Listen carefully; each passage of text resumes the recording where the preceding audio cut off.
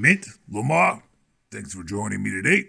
Certainly, boss. Of course, Mr. Basnight. As you know, you two as a team have been our most proficient and versatile dictionary models. Let me just stop you there, sir. You use the phrase dictionary models when we would just call ourselves models. We don't really make a distinction. The hell are you talking about? For instance, you wouldn't call Gary Cooper a television actor. You'd call him an actor whose work has occasionally appeared on television. You wouldn't call Secretariat a racehorse. Okay, not the best example, Lamar. You'd just call him a horse. Actually, you would call Secretariat a racehorse, because that's what he is, so. Enough! Gentlemen, this is a dictionary company. We make dictionaries. Your job is to pose for a line artist who then renders you in a position designed to provide an example for a word. You are dictionary models. Well, we're just gonna have to agree to disagree, Mr. Basnight. Look, I didn't ask you here today to argue about semantics.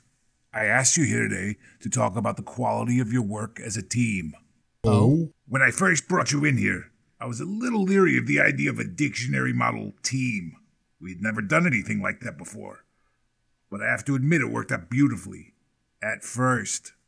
And I've been in the dictionary business for 30 years and I've never, never seen work like Dutch Door. Really magnificent.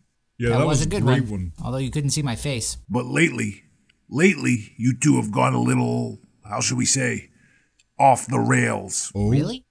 Now look, I can understand you two teaming up for jobs like visors and life preservers, and I can even see a place for it in something like, say, sandwich. Now, all of those you could make a case that there should be two of you. But pillory? Come on, I just don't understand what there's two of you in there. Well, we're a team. And speaking of off the rails, just what the hell is going on with Fez? Hmm. Wait, which one was that? Uh, That's the one where I'm wearing a fez, right? Yeah, yeah, that's the one where you're wearing a fez.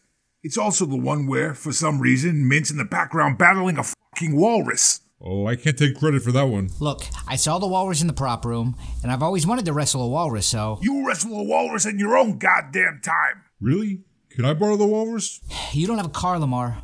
What are you gonna do, take the walrus on the subway? Maybe. Well, you're not taking it in my car. We could put the top down. And Lamar, just what the hell is going on with all the pointing? What? The pointing. Oh, it's my thing. I point. In a drawing of a man blowing an alpenhorn, above the word alpenhorn, we do not need another man to point at the alpenhorn. It's redundant. What's redundant mean? Jesus, Lamar, you work at a dictionary company. I just don't understand why there has to be two of you in the same picture.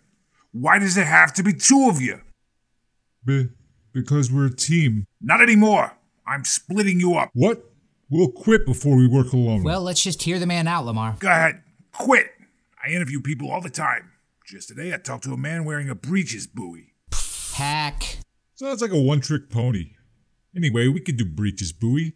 Say, for instance, Mint could be wearing the breeches buoy while I'm doing something like, say, pointing at it. No more goddamn pointing and no more team. Split up or you're fired. That's it. We quit. I don't quit. I'm totally fine working alone. Come on, Mint. Let's get out of this place. I am comfortable right here. What? Yeah, totally fine.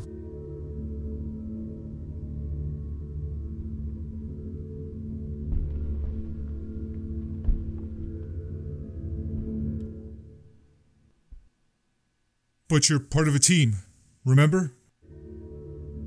I'm a model first.